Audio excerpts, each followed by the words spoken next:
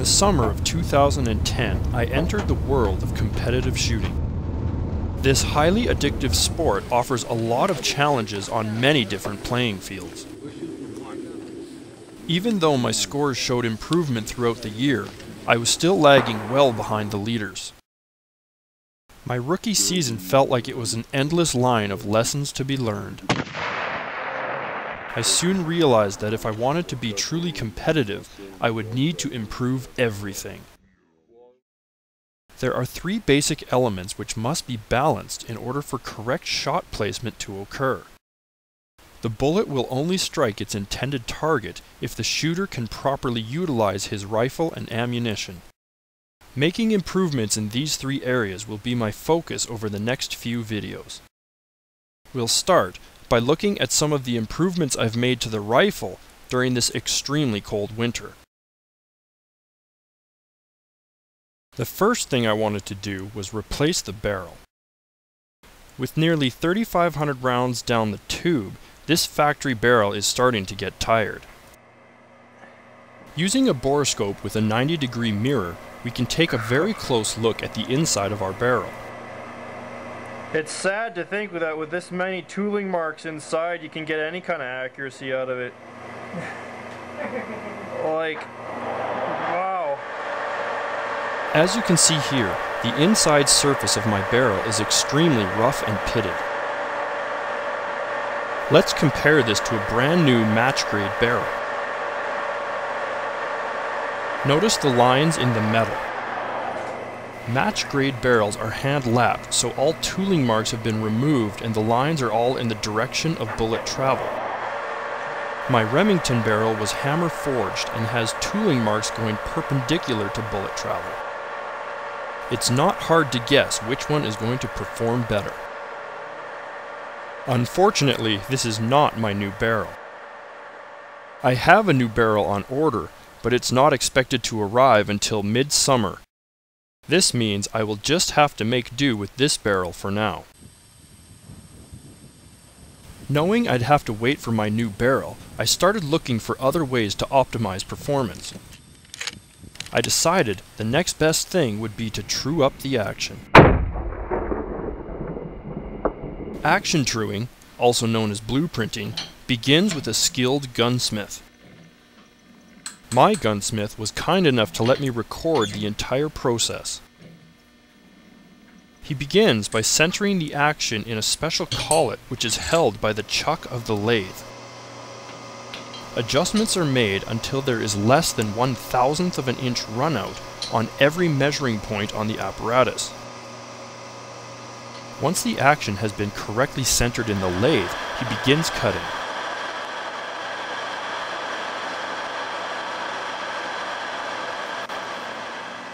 Here we can see that the front face has been cut to allow the recoil lug to lay perfectly flat. Next, he moves inside and recuts the threads. He is careful to only take off what is needed.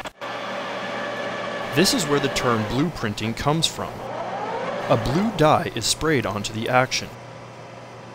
As you begin cutting, the high spots will be removed first, revealing shiny silver metal. The low spots, which are untouched, will remain blue. Shiny. So then if you take a look here at the front, you can see where the original tool marks are still right there. See it? Yeah. So you took off just absolute minimum, but now it's square. yeah The last thing he touches on the receiver is the bolt lug area. Here's before and after the receiver has been trued up. The use of sharp and well-maintained cutting tools has really cleaned up this entire area. Next, he moves on to the bolt itself. The first step is to center the bolt in the lathe. Again, he measures in multiple positions to ensure less than one thousandth of an inch runout. In fact, the wiggle of the needle is hardly even visible. A small amount of metal is trimmed off the rear surface of the bolt lugs.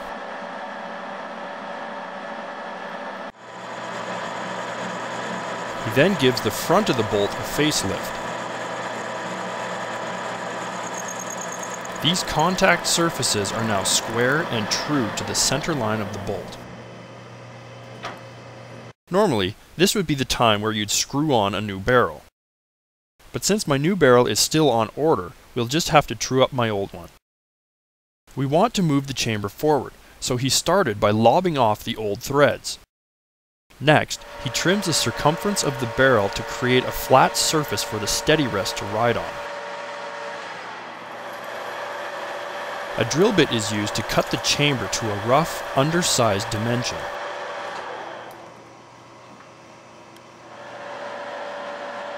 He then enlarges the hole with a cutting tool.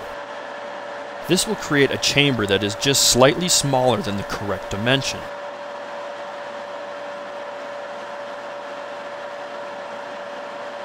The chamber is now ready for the reamer. The reamer is a precision ground cutting tool.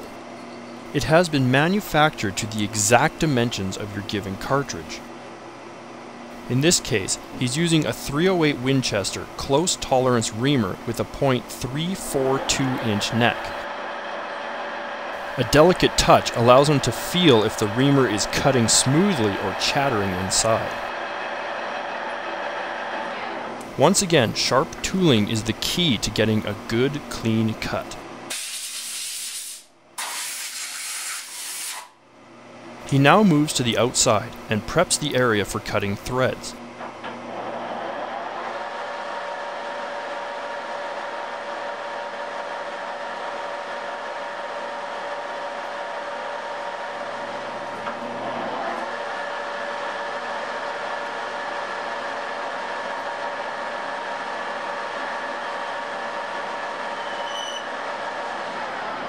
With the area prepped, we are ready to cut threads.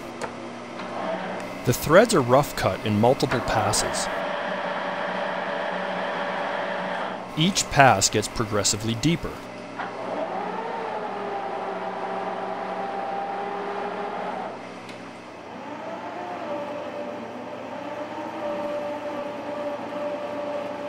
He takes a moment to square off the sharp edges of the threads.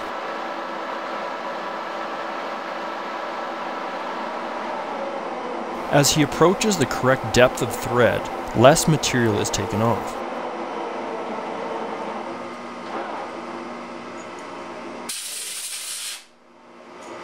He can now test fit the receiver to the barrel.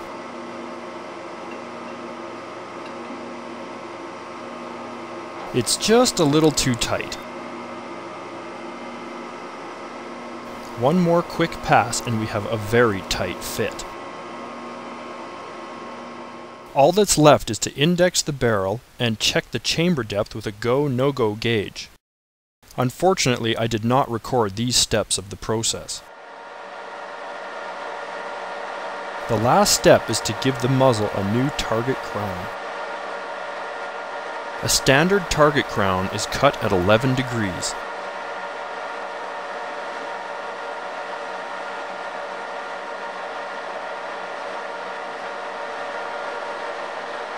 He completes the process by polishing the muzzle to a mirror finish.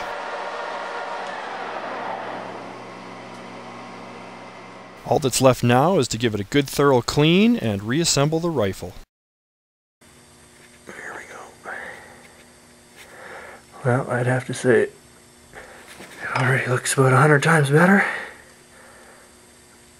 in terms of what I was looking at before. At least it's nice and clean on the on the lands. As for the rest of the barrel, once it gets past there, it turns back into